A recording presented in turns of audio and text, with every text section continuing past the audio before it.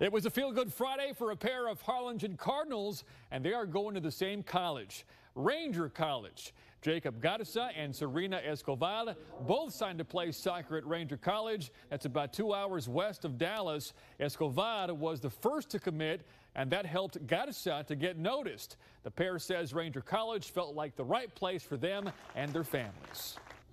I kind of just went out, did a couple showcases. I met a couple coaches, and this is the one that kind of stuck with me, and I'm really happy with my decision. It's good that it's still in Texas because they can, you know, if they want, you know, travel once in a while to me, or I can come down. It's not going to be that hard.